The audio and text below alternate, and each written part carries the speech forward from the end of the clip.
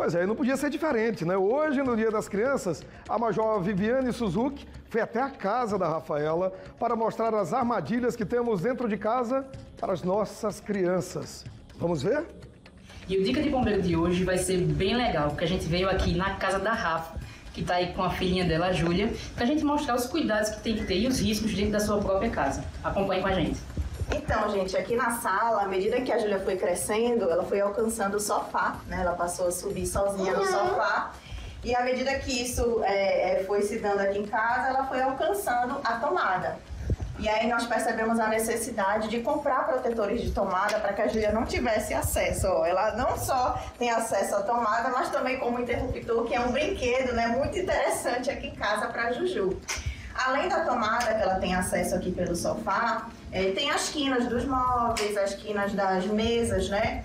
E aí, como a nossa mesa aqui em casa ela é de vidro, nós sentimos a necessidade de colocar esses protetores de silicone, porque já aconteceram alguns acidentes, né, da Júlia andando aqui por casa sem querer bater a cabecinha. Então, esses protetores, eles atenuam, né, a, a, a, o impacto, né, quando ela porventura passar aqui despercebida e chegando no local mais falado e mais perigoso da sua casa, a cozinha. Então a gente está aqui ó, logo na entrada da cozinha da Rafa ela vai nos mostrar todos os itens e os riscos que ela encontra aqui na cozinha dela.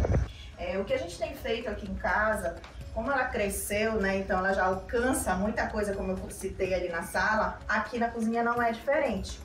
Aqui no fogão, ela já está quase para alcançar né, as bocas do cooktop.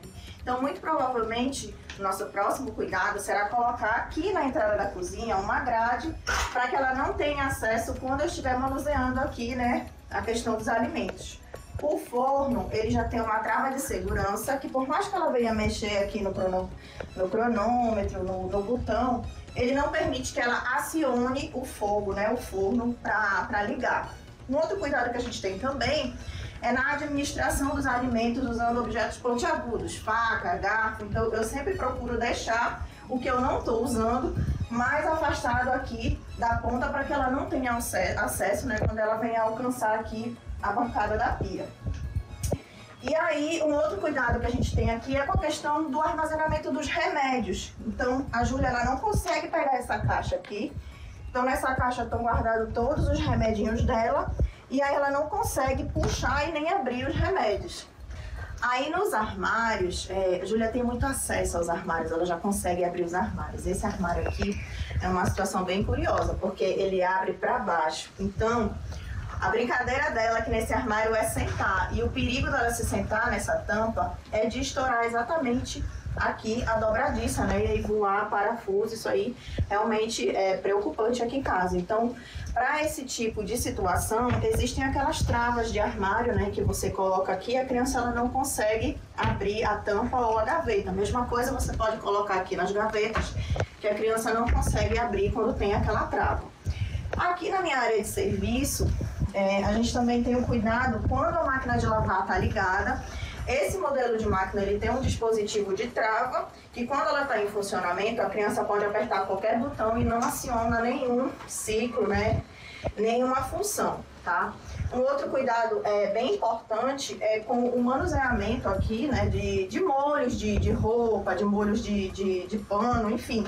A gente procura não deixar as bacias no chão para a Julia não ter acesso a essas bacias com água, com produtos de limpeza. A gente sempre deixa acondicionado aqui em cima. E mais um local polêmico da sua casa e de qualquer casa que tem banheiro, né? Óbvio. Então tá aqui ele, ó. E a Rafa vai nos passar quais são os cuidados que ela faz no dia a dia, tá? Com a pequena Júlia.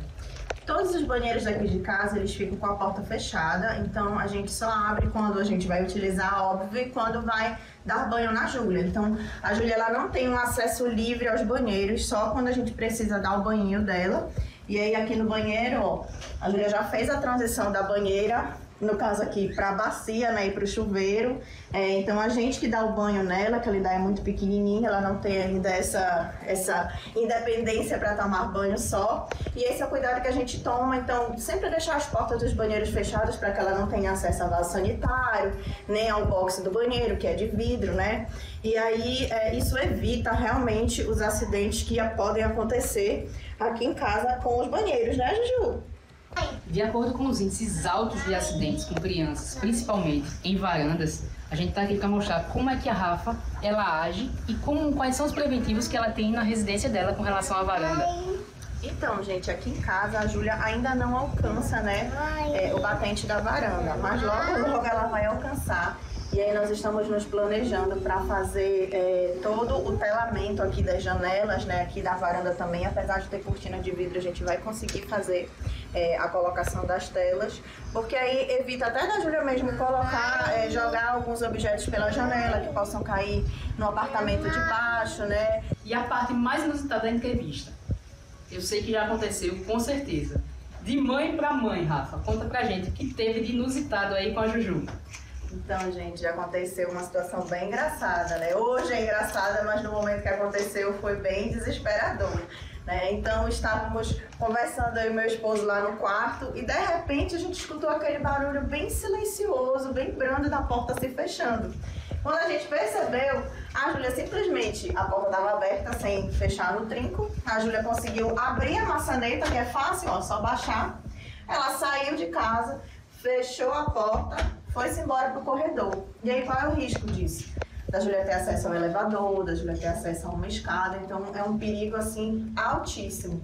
É, nós ficamos super assustados. Isso não aconteceu uma vez, já aconteceu duas vezes, inclusive, né? Na segunda vez, Julia foi pro final do corredor e ficou conversando, graças a Deus, com uma vizinha, que foi um anjo que apareceu.